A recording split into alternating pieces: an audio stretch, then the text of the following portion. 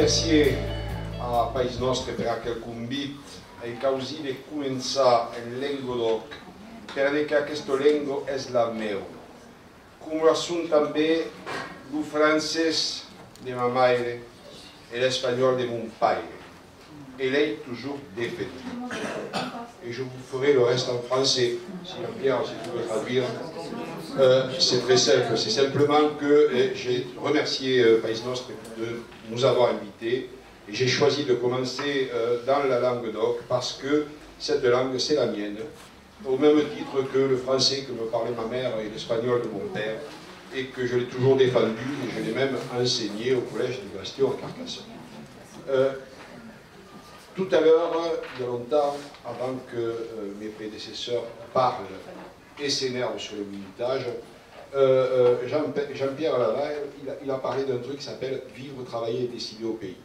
Alors, c'est pas pour faire du personnel, c'est pas ça. C'est que parce que il faut à un moment donné pas jeter les hommes politiques, comme vient de le faire M. Loss dans le même panier, ou d'autres, euh, euh, parce qu'on peut aussi grandir de ces expériences politiques.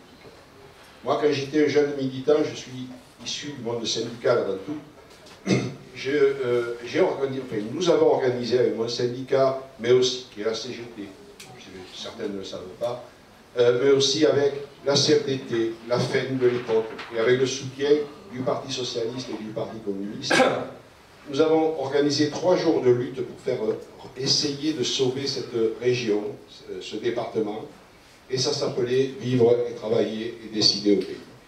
Euh, on avait pendant euh, le premier jour, c'était en 1979, 1979, on avait défendu déjà la ligne Carcassonne-Quilla.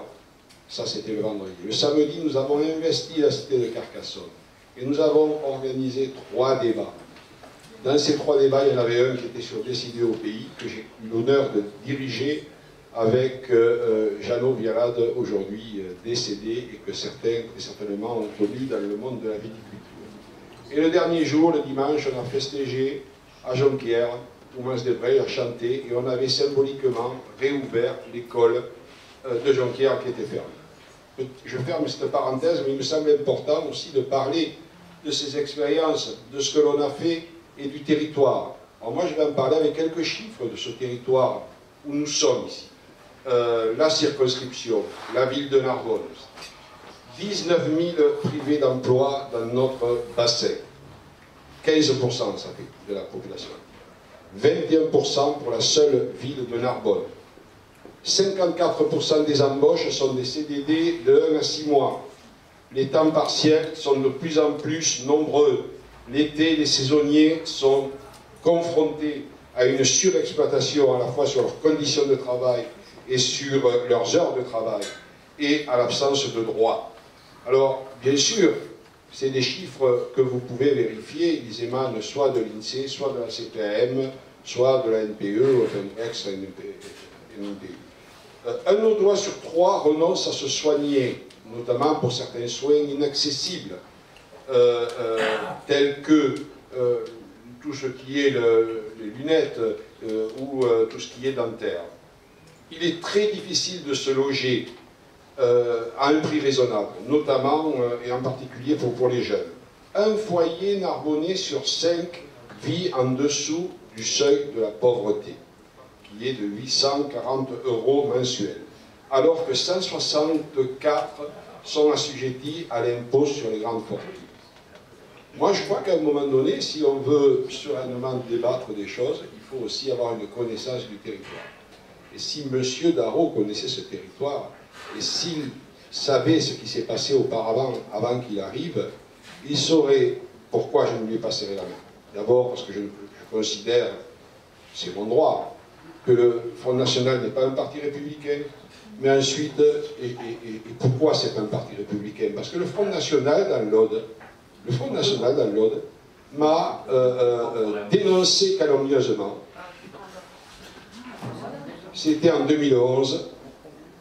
Euh, dans ma profession euh, d'historien, de professeur d'histoire-géographie, euh, le secrétaire départemental d'alors du Front National de la Jeunesse a dit que dans mes cours, je travestissais l'histoire du Front National. J'ai donc porté plainte et le procès est passé 4 ans et demi après. 4 ans et demi après, mais 4 ans et demi où j'ai été harcelé, menacé téléphoniquement, par courrier. On a essayé de faire des pressions sur moi, mais moi je n'ai pas lâché. Pourquoi? Parce que maintenant je suis retraité, mais je savais qu'il y avait des jeunes et que, effectivement, pour défendre l'école de la République, pour défendre la liberté de l'enseignant tout en respectant les, programmes, il ne fallait pas laisser faire ça et s'immiscer un parti politique, quel qu'il soit, dans euh, l'école. Ce procès, je l'ai gagné.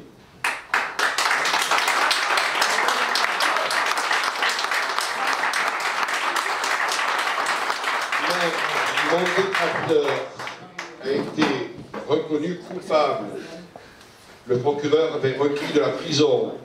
Il n'a eu que 5 000 euros d'amende dans 2500 avec sursis, et il a eu 1500 euros de dommages et intérêts à me verser, somme que j'ai partagée en deux entre mon syndicat qui m'a soutenu, tout comme l'ont fait tous les élèves de la classe qui étaient concernés par le cours que j'avais fait, et l'autre moitié, je l'ai donnée à la maison des lycéens de mon lycée, le lycée Louise Michel à pour que soit organisée une action citoyenne et républicaine. Alors, moi, je crois que euh, c'est important aussi de voir qu'on a fait des choses dans le territoire. Par exemple, euh, par rapport à tout ce que je disais tout à l'heure sur le, sur euh, le chômage, sur la précarité des Narbonnais et de la circonscription, je pense aussi qu'il y a ici, autour de cette table, des candidats qui représentent soit euh, ce qu'a fait M. Sarkozy euh, il y a quelques années, soit ce qu'a fait euh, M. Hollande, que ce soit tendance Valls ou tendance Macron. Et moi, je ne suis pas de cela. Moi, je suis un candidat qui veut représenter le peuple et défendre le peuple. Et comme je l'ai fait par le passé, contre les mauvais coups des politiques de Sarkozy ou de Hollande, en manifestant avec euh, euh, les salariés, avec les citoyens à Narbonne, contre la loi El Khomri, euh, ou avec les cheminots pour la défense du rail, ou avec les postiers pour la défense de la poste, moi j'ai agi dans ces milieux-là. C'est quelque chose que je fais toujours. Et j'ai pas vu beaucoup de mes voisins dans ces manifestations. Je propose donc déjà, déjà, que si par malheur euh, M. Macron euh, n'avait pas de... Euh, avait une majorité plutôt, avait une majorité. Non, non tranquillise-toi, tranquillise-toi. Nous sommes, nous connaissons, mais je, hein, nous débattons. si il avait une majorité, M. Macron, ça veut dire quoi? Ça veut dire que les choses ne s'arrêteraient pas le 18 juillet, mais que nous, les communistes, nous serons dans la rue pour nous battre contre les mauvais coups euh, que son gouvernement a déjà annoncés, avec par exemple les accords euh, euh, qui vont être des accords d'entreprise, avec une, casse encore plus dure de, de, la loi El Khomri, et ça, on ne saurait bien sûr l'accepter. Autre élément important, me semble-t-il, sur notre territoire, c'est la question qui a été un peu abordée de la viticulture et de l'agriculture. Il y a eu une manifestation il y a quelque temps, euh, à Narbonne. Nous, euh, nous y avons participé, sans être d'accord avec toutes les solutions qui étaient proposées par la profession. Euh, mais nous y avons participé parce qu'il nous semble, comme on l'a fait en 1979, qu'il est important de continuer à défendre cette viticulture qui est un élément essentiel dans, dans l'économie locale. nous avons des propositions, bon, qui sont euh, certaines euh, sont les mêmes que celles que, ce, demande la profession, mais pas toutes. Alors bien sûr qu'il faut qu'il n'y ait, pas de concurrence déloyale comme il, comme y a actuellement. Il faut qu'il y ait une régulation du marché du vin. Il est impensable, effectivement, que des vins étrangers arrivent euh, sur, sur la place, dans les supermarchés français ou autres, et qu'il ne soit pas traité, qu'il n'ait pas la même histoire que euh, les vins que l'on produit ici. Non pas qu'il faille fermer les frontières, parce que du vin on en exporte aussi, et qu'on a besoin d'importation de vin, aussi, euh, aussi bizarre que ça puisse paraître, mais tout simplement parce que... 10 minutes. 10 minutes, je termine, je termine par ça, je n'ai pas, pas la en fait. Donc, euh, on a proposé pour ça une, une triple traçabilité. Traçabilité, euh, bien sûr, au niveau de l'origine, savoir d'où ça vient.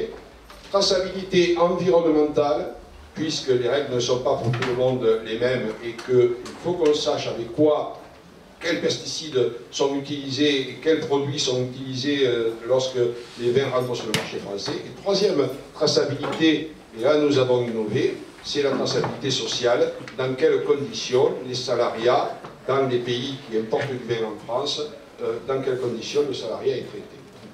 Moi j'avais deux trucs, deux ou trois à compléter par rapport à ce que j'ai dit tout à l'heure et à proposer. Euh, sur les questions de précarité, de logement, de revenus, etc., euh, dire simplement que l'argent existe, et vous citez trois chiffres. 46 euh, milliards de dividendes, c'est ce que se sont partagés les actionnaires du CAC 40 en 2016. J'ajoute un autre chiffre, c'est que ces grandes entreprises, et c'est souvent les mêmes que les précédentes, euh, se sont partagés en trois ans le pactole de 62 milliards d'euros de CICE, et on pourrait ajouter à cela aussi l'évasion fiscale, et à ce, niveau-là, je vous signale que Alain Bocquet, député communiste, a fait voter une résolution à l'Assemblée nationale pour l'organisation d'une COP mondiale, donc sur le modèle de celle du climat, contre la fraude fiscale. Euh, euh, je, sur euh, la question d'Areva, qu'il n'est pas question d'esquiver, bien sûr, mais je suis d'accord, il faut en parler, sur le procès des torts. notre position, nous, ce qu'on a fait au niveau du, Parti communiste, on a invité Ruth Brésius à venir, il y a déjà au moins trois mois, nous rencontrer pour nous expliquer un peu cette question des déchets. Et suite à cette euh, réunion, nous avons, d'abord, nous, on n'est pas experts. On n'est pas capable de dire, moi je ne suis pas capable. Je ne suis pas capable de dire euh, ce qui va sortir de la, cheminée ou pas. Et ce qu'on a demandé, c'est qu'il y ait un laboratoire indépendant qui fasse un audit de façon qu'on puisse confronter ça aux études d'Areva, sachant que le dénominateur commun dans cette histoire, c'est que de toute façon, déchets il y a depuis longtemps et que de toute façon, il faut les traiter. Et on a ajouté autre chose, c'est que nous, on ne s'intéresse pas, on s'intéresse à l'environnement, bien sûr, on s'intéresse aux gens qui habitent autour de, de, euh, on s'intéresse aussi aux salariés qui sont en première ligne et dont personne ne parle. Euh, euh, ça, c'est extrêmement important. on a fait une lettre ouverte au maire de Narbonne pour qu'il provoque une réunion publique de, avec son conseil municipal sur cette question. Euh, le maire de Narbonne a fait ça. Il a convoqué, euh, Jean-Pierre Mestera avait envoyé cette lettre, il y a eu aussi des demandes de Rue et de Covidem, une association qui s'est créée euh, sur, cette question. Et suite à cette réunion, publique, Areva a été invité. Et Areva n'est pas venu. Et c'est un scandale. Areva, il y a 80% du capital qui est détenu par l'État. Et il n'est pas normal que ces gens-là ne viennent pas s'expliquer, qu'il n'y ait pas un débat contradictoire, pour que les citoyens puissent décider en fonction de euh, ce qu'on leur aura, on aura raconté. Est-ce que le cimentage c'est mieux? Est-ce que tort c'est dangereux ou pas? Moi, personnellement, euh, j'ai besoin de savoir et qu'on me donne des études contradictoires. Euh, troisième chose, sur la moralité de la vie politique et sur le clientélisme, euh, notamment sur le clientélisme. Moi, je, vais vous dire ce que j'ai fait quand j'étais adjoint au maire euh, à Clixacdod, lorsqu'il a s'agit en 1999-2000 de répartir toutes les aides qui arrivaient à la suite des inondations pour les sinistrés. J'étais adjoint aux affaires sociales, donc je vice-présidais le CCAS, c'est prévu comme ça. On a créé une commission, deux élus, deux non-élus, euh, et moi-même, pour octroyer les aides. On s'est réunis pendant huit mois tous les samedis matins pour euh, traiter ces dossiers. Ben, ces dossiers, j'ai demandé à la secrétaire du CCS qu'elle les anonyme tous. Et les aides ont été toutes octroyées sur des critères sociaux. Une minute, c'est parfait. Sur la langue, alors je suis obligé de parler ici de la langue de la culture occidentale. Euh, dans une minute, ça devrait suffire. Oui, il faut développer au niveau de l'école, partout, il faut développer l'enseignement des langues régionales. J'y ajoute moi, les communistes ajoutent les langues minoritaires aussi, euh, qui sont euh, très très nombreuses en France et qui concernent des populations assez nombreuses. en ce qui concerne le développement de l'enseignement de la langue, il faut des professeurs. Donc il faut multiplier les postes de, professeurs. Il y a le CAPES d'Occitan existe, maintenant même l'agrégation d'Occitan existe. Je crois qu'il faut aussi, par rapport aux, avant le collège, il faut aussi euh, euh, défendre certes les calendriers, mais personnellement et, au niveau euh, de la réflexion que l'on a nous, c'est qu'il faut qu'il y ait des moyens parce que ce n'est pas en restant au niveau associatif que ça va pouvoir marcher. Pour qu'il y ait des moyens, il faut que les calendriers soient gérés par le service public. Merci.